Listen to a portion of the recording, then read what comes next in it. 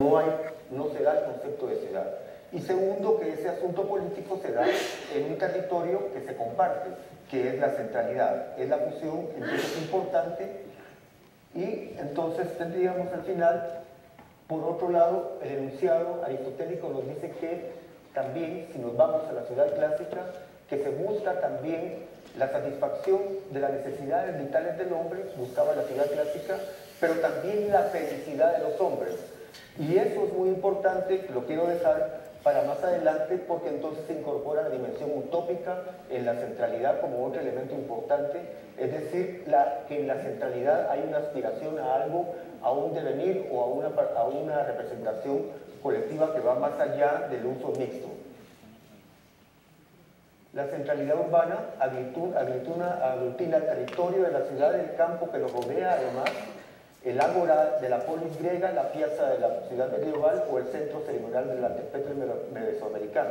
Es decir, que la centralidad y la ciudad deben de convivir, no pueden ser un lugar apartado, no pueden ser un enclave a la manera de las ciudades globales que ahora se pretenden desarrollar, por ejemplo Santa Fe de México, que son ciudades de las grandes empresas transnacionales, que son ciudades que se aíslan, sino que una condición importante es que se integran a la ciudad. Y luego tendríamos lo que sería el concepto de una centralidad comunitaria, que lo voy a pasar un poco más rápido para poder presentarles al final la idea importante, donde creo que al final el ideal de la comunidad, el ideal utópico, el ideal de la centralidad simbólica, también tiene que pasar por esta conversación que es muy importante. Lefebvre y David Harvey se introduce una consideración clave para entender la evolución de la ciudad, y es la propiedad de la tierra. Definitivamente las relaciones de la sociedad dentro del lugar común aristotélico, a partir, aparte de compartir una cosmovisión común, depende de las relaciones de la propiedad del suelo. Entonces la propiedad del suelo viene a ser fundamental porque cualquier proyecto arquitectónico latinoamericano tiene que crear suelo público, tiene que crear suelo común para poder trabajar lo que son las centralidades, porque quien hace hoy la centralidad que es una degeneración, es el MOL justamente, o es el proyecto privado el que sustituye a la centralidad histórica verdaderamente en la noción que lo quisiéramos eh, desarrollar más adelante. Y aquí tenemos un poco algunas imágenes de la ciudad, la ciudad del MOL prácticamente donde se encierra, ¿verdad? Y las consecuencias de la ciudad privatizadora también, la centralidad no puede evadir esta discusión de la marginalidad, lo voy a dejar para más adelante porque el tiempo se concluyó, y estas son las imágenes de algunos proyectos, el Corredor Central, Aurora Cañas, que es una serie de protocentralidades que trabajamos en la ciudad de Guatemala de 7 kilómetros de longitud, el centro histórico de la ciudad de Guatemala, el centro cívico de la modernidad de los 50, el barrio del conocimiento creado en el siglo XIX y dos parques del siglo XIX, entonces se generan cinco centralidades y un corredor central haciendo un proyecto de transporte, proyecto de espacios públicos, proyecto de modernización del comercio popular, proyectos de normativas y plan de ordenamiento territorial y en conjunto nos dio como resultado algunas imágenes que paso rápidamente. Este es el paseo de la sexta unos 5 o 6 años atrás y lo que es hoy. Prácticamente se convirtió en el lugar más concurrido y más significativo y más emblemático y donde hay el sentido de pertenencia que Guatemala le, hacía falta. Esto fue manejado con la noción de la centralidad, con algunos expertos del vino, y nos acompaña aquí, alcanzo a ver a un gran amigo que nos acompaña por acá, Freddy Garay, cuando trabajamos proyectos 5 o 6 años atrás.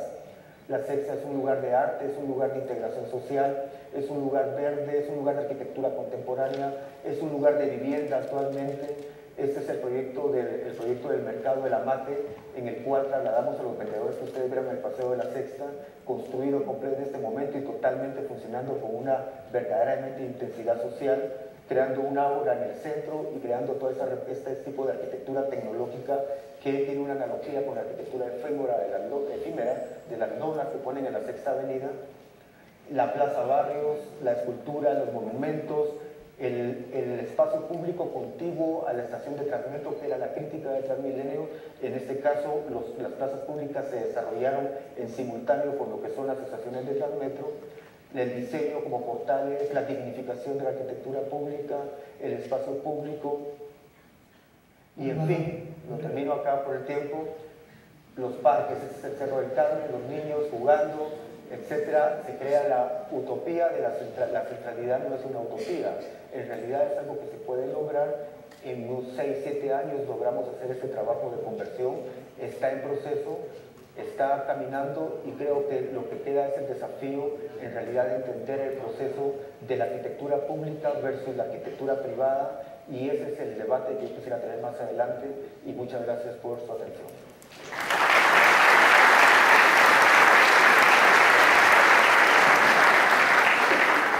La intención de la, de la mesa es, luego de las exposiciones de cada uno de los participantes, tener una conversación transversal eh, sobre preguntas que se puedan este, formular y después daríamos también la posible participación al, público, eh, pero siempre con una referencia muy precisa de preguntas, no de ponencias o exposiciones paralelas, porque eso nos quitaría la posibilidad de centrarnos. Yo creo que sería interesante que tengamos eh, aprovechado la, disponibilidad del tiempo para realizar, digamos, este, manejar correctamente las presentaciones y las preguntas que podemos llegar a hacer. Le doy a María Eugenia Martínez entonces la posibilidad de hacer su presentación. Buenos días, agradezco mucho a los organizadores de este evento el espacio que le abren al Instituto Distrital de Patrimonio Cultural y por supuesto a la Alcaldía de Bogotá. Como tengo 20 minutos, correré mucho y pues espero que funcione. Para empezar con ustedes voy a hablarles del plan de revitalización del Centro Tradicional de Bogotá, un proyecto del Instituto de Patrimonio ligado a la operación Centro Ampliado que coordina la Secretaría de Hábitat del Distrito. Eh, estamos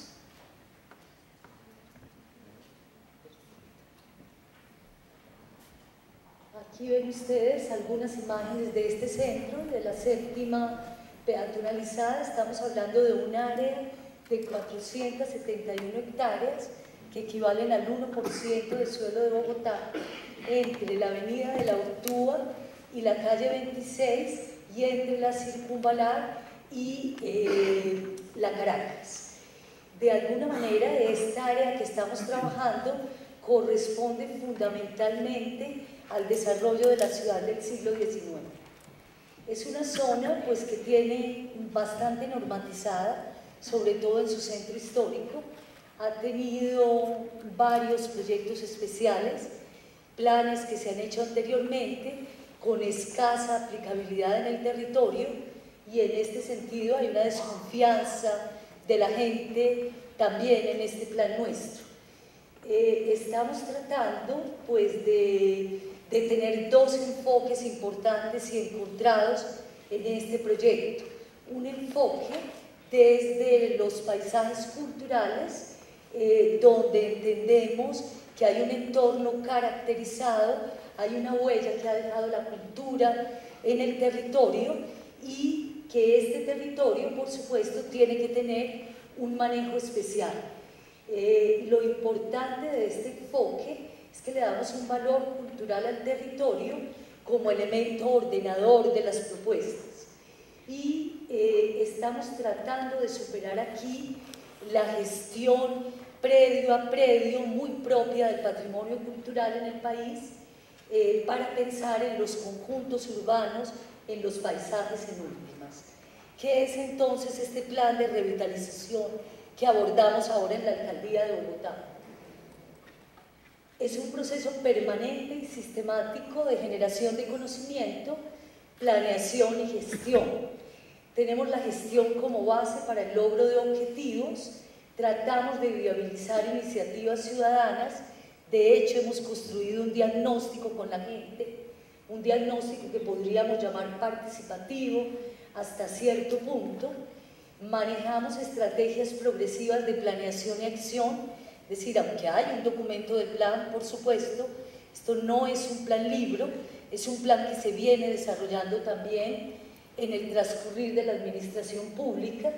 Hay una definición de apuestas, criterios y valores por encima de las normas urbanas, pero no podemos olvidar que este instituto tiene una especie de curaduría de patrimonio que sigue las líneas muy tradicionales de la gestión en el tema. Estamos tratando de cambiar eh, esta sección hacia una curaduría, de formalizarla como curaduría y eh, de tener un consultorio al público, de tener un laboratorio urbano ligado al laboratorio de este plan, etcétera, etcétera, pero por ahora tenemos una especie de curaduría con muchas normas. Desarrollo a partir de actores y participación ciudadana. En el Museo de Bogotá, eh, en un principio en el plan nos reuníamos semanalmente con las comunidades del área y últimamente cada mes, eh, de acuerdo a las necesidades, pues tenemos otras reuniones con ellos, pero logramos llegar a unos proyectos compartidos. Para nosotros la revitalización no es redensificación.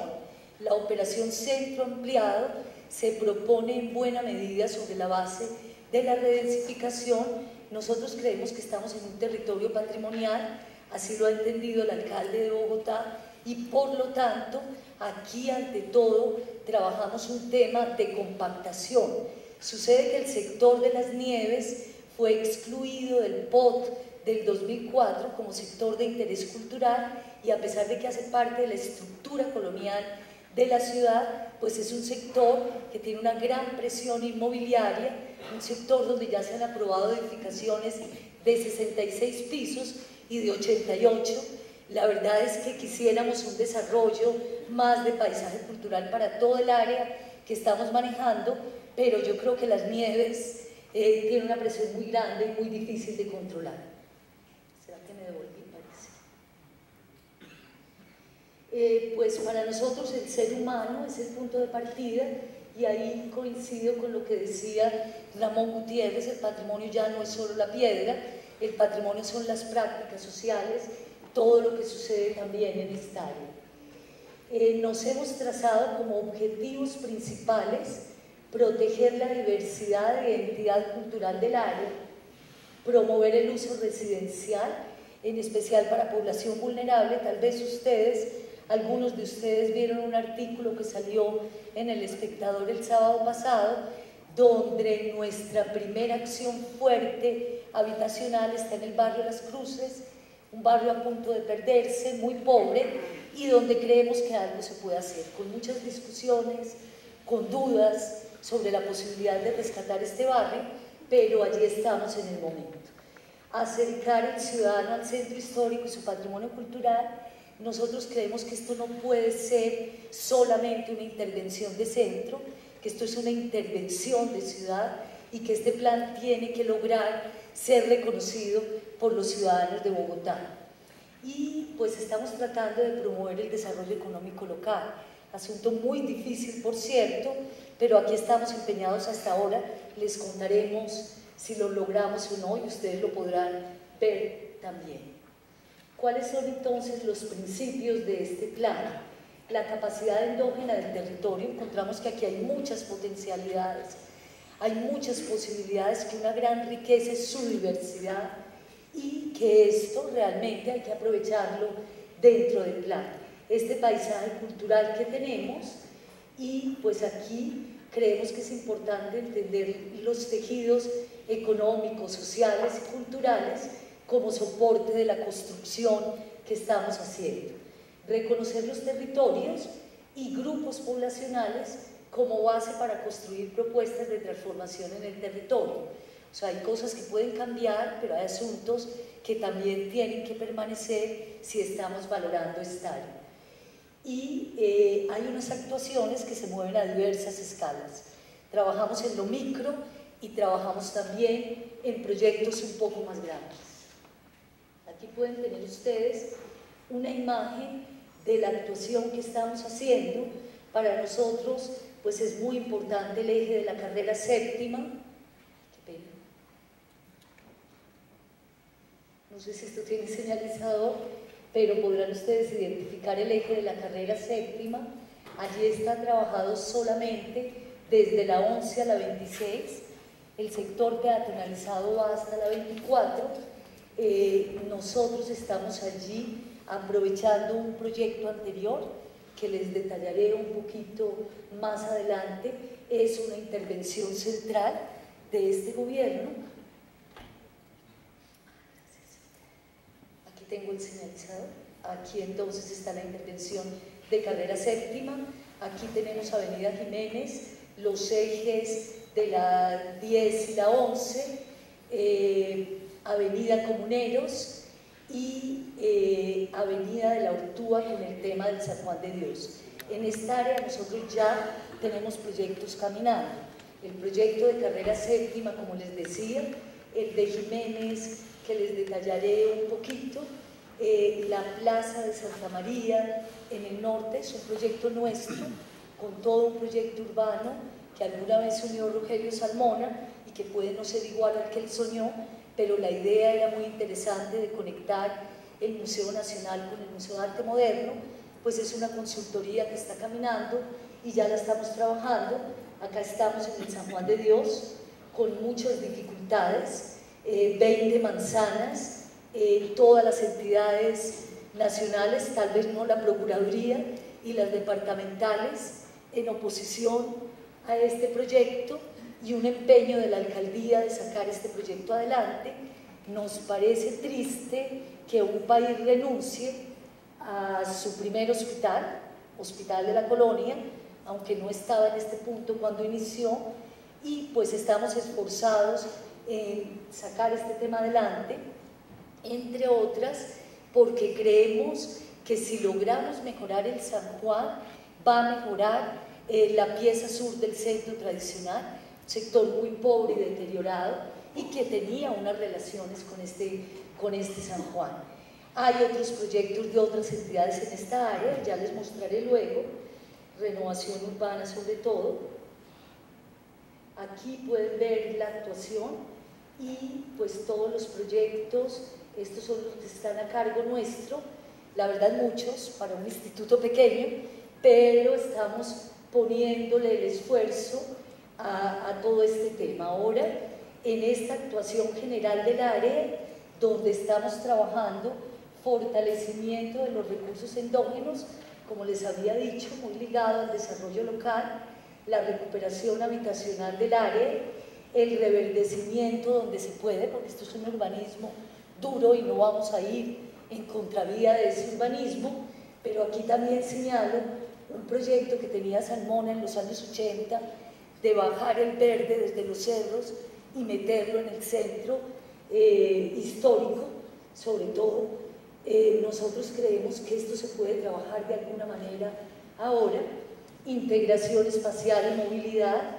Aquí pues es muy importante saber que los presupuestos de esta alcaldía, pues el peatón tiene la prioridad y por último el vehículo privado en esta actuación integral estamos organizando 120 proyectos de entidades, incluidos los nuestros. Aquí hay un trabajo de microterritorios muy detallado, elaborado con las comunidades. Son especies de microcosmos donde entendemos cómo vive la gente y cómo se apropia. Lo importante de esto es que no queremos dejar esta gente en su microcosmos, sino que creemos que se pueden armar redes. Esta pues es la estrategia de desarrollo local eh, que se basa de nuevo en el fortalecimiento de los recursos endógenos, el capital humano y social que hay en el área, la integración social, económica y territorial, la solidaridad, solidaridad territorial y una nueva mirada de la gobernanza desde lo local y el desarrollo cultural del área. La estrategia habitacional donde hay vivienda nueva, ante todo hecha por renovación urbana, están detectadas las oportunidades, perdónenme, que me fui muy lejos, están detectadas las oportunidades de intervención, el reciclaje de edificaciones que es nuestro y el mejoramiento de vivienda. Por primera vez en la historia de la ciudad, el subsidio de mejoramiento pensado para la periferia se está aplicando en centro Estamos trabajando una intervención de 680 viviendas en las cruces en este año, aplicación de 200 subsidios. La prensa dijo que vamos a restaurar estas casas, es distinto mejorar a restaurar. Hago precisiones porque no quiero generar expectativas falsas, pero sí creo que son importantes los avances que se están dando en las políticas de vivienda y cualitativamente en la manera como se considera el patrimonio cultural. ¿Me devolví? pena. Sí. La estrategia de reverdecimiento que se basa en la naturalización de algunas áreas públicas donde de verdad se puede, la naturalización privada de algunos solares que estamos trabajando como ejemplares, la naturalización participativa, la gente está trabajando en las corrientes de agua, sobre todo en el río San Francisco con la alcaldía local y eh, la regularización normativa de estos temas. Hay una propuesta de Fernando Cortés del año 2006 de acercar el centro histórico a los cerros que estamos retomando en este momento, pues porque queremos aprovechar buenos trabajos que estaban desde antes. En el tema de movilidad, pues estamos trabajando muy cercanamente con la Secretaría de Movilidad. Aquí hay un tema importante de la Avenida Jiménez, cómo bajarle eh, la carga a una vía que fue concebida por Salmona como peatonal y que tiene una carga de 90 biarticulados por hora. La decisión por el momento es, se retiran tres rutas, se ha retirado una y queda solamente la J24 que viene de las Américas.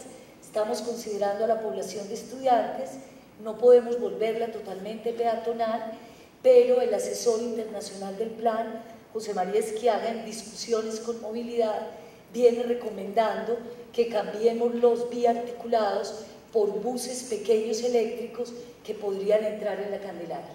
Entonces estamos en toda esta discusión, mirando todo este tema con movilidad que creemos muy importante. La manera de bajar todos estos presupuestos al territorio es a través de los programas. Tenemos un programa de desarrollo local, un programa de mantenimiento eh, de edificaciones y de mantenimiento del área. Nos hemos dado cuenta que no existen presupuestos no existen metodologías y no existen instrumentos para este mantenimiento. Entonces estamos creándonos, arrancamos con Candelaria es tu casa, eh, un proyecto localizado en la Candelaria, cambiándole la cara, es un poco una labor de maquillaje, pero estamos centrados en el aseo, en la seguridad, en tapar huecos y en el lucir fachadas como una avanzada del plan el programa habitacional, del cual ya les hablé, el programa de espacio público, veremos solamente Jiménez, y el programa de patrimonio. Se me está acabando el tiempo, corro con la avenida Jiménez. La avenida Jiménez pues es una vía sumamente importante para la ciudad, un laboratorio de urbanismo y arquitectura, y ahora es un laboratorio nuestro. Me siento orgullosa que en el Instituto de Patrimonio hay un pequeño taller urbano que perdón, que hace maquetas, que acoge eh, propuestas, que las discute, que mira su viabilidad desde la forma urbana, y esto me parece importante resaltarlo, en un evento de arquitectura trabajamos a partir de la forma urbana, intervenimos la ciudad con los principios del proyecto urbano. Aquí resalto solamente, aunque esta operación está compuesta por proyectos nuestros y de otros, proyectos de espacio público, un proyecto también de esculturas en el espacio público donde ligamos patrimonio mueble e inmueble, pues digamos que aquí me concentro solamente en mostrarles muy rápidamente un proyecto habitacional que recoge los presupuestos de esta alcaldía de mezcla social a partir de diversas áreas que se desarrolla en la cuarta, casi al frente del Parque de los Periodistas, en área del centro histórico, y donde lo que hemos trabajado hasta ahora es un lote de Bidú, básicamente, y conformada también esta actuación por unos predios muy deteriorados. Aquí están todos los cálculos económicos, eh, todavía no está tan desarrollado como en las cruces esta actuación de la Jiménez, eh, pero digamos que es viable. La actuación de las cruces que vieron ustedes en prensa, eh, pues se compone de distintas maneras de intervenir este territorio. Lo morado son viviendas bis, lo que es la primera fase, estamos allí trabajando con Caja de Vivienda, haciendo un esfuerzo enorme para aplicar 200 subsidios este año. Muy difícil estructurar esta actuación para patrimonio, porque como les dije es un subsidio que estaba pensado para periferia. Yo creo que en la medida que podamos aplicarlo vamos a avanzar más rápido, pero ya arrancamos, tenemos que cumplir metas del 2013, le tenemos que cumplir a la Caja de Vivienda, porque si no también ciertos presupuestos de manejar el patrimonio cultural desde otras miradas fracasarían, entonces estamos empeñados en que esto se cumpla. La segunda fase son viviendas DIP, hay un mejoramiento de fachada sobre esta área, que es lo de menos realmente. Yo creo que la intervención importante aquí es la intervención en vivienda y también quiero señalarles que en esta intervención pues el hecho de tener vivienda nueva es sumamente importante para nosotros. Queremos mostrar que un problema de patrimonio es también intervenir con nueva arquitectura los sectores consolidados. Lo que sucede es que no lo intervenimos de cualquier manera, respetamos las tipologías locales, la tipología de patio y estamos allí en una actuación coordinada con renovación urbana. algunos trabajos, no me voy a detener porque el tiempo terminó. Eh, lo de carrera séptima, retomamos un proyecto de Camilo Santamaría, de eh, una consultoría entre el 2010 y el 2011. Camilo lo pensó para un transmilenio ligero, entonces entre el Instituto de Desarrollo Urbano y el Instituto de Patrimonio Cultural adecuamos esa propuesta de Camilo a los presupuestos de la Bogotá Humana. Sale en octubre la licitación nosotros pagamos el diseño, el IDU pone 9.800 millones de este proyecto y arranca el proyecto, yo diría febrero del año entrante, pues porque se sale a concurso público apenas en octubre y es un proyecto que tiene que llegar a diseños geométricos de los cambios que hicimos nosotros en el diseño para adecuarlo a los presupuestos eh, de movilidad de la Bogotá humana está aquí esta intervención, es como lo último que señalo. Tenemos eh, presupuestos ambientales de las SUDS, nos obliga eh, la Secretaría de Ambiente y aquí algunas imágenes de Candelaria, es tu casa de lo que estamos haciendo. Esto es un plan muy amplio, comprimirlo en 20 minutos es un poco difícil. Muchas gracias por su atención.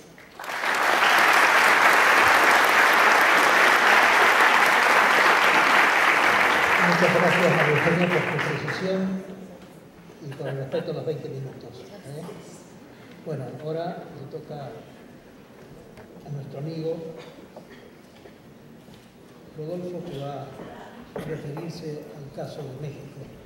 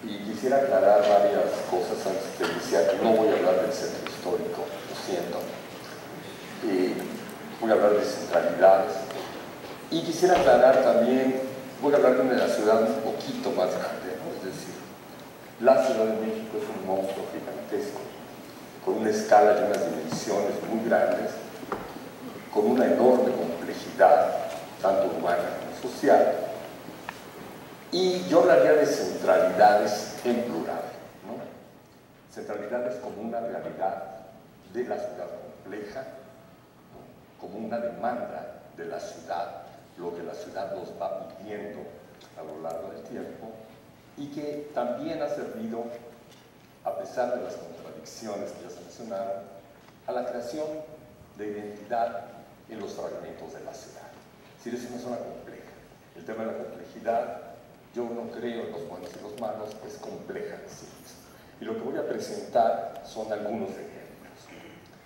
Primero, eh, lo que ahora llamamos nosotros el centro histórico fue hasta hace unos minutos hasta fines del 18, principios del 19, toda la ciudad. Ahí hablar de centro es complejo, había diferentes centralidades en esa ciudad o toda la ciudad era un centro territorial. Y desde mi punto de vista, en Ciudad de México, el tema del centro y de la centralidad surge con la expansión de la ciudad en la segunda mitad del XIX y en el primer cuarto del siglo XX. No va a ser sino hasta que surgen todas, perdón, lo que está en rojo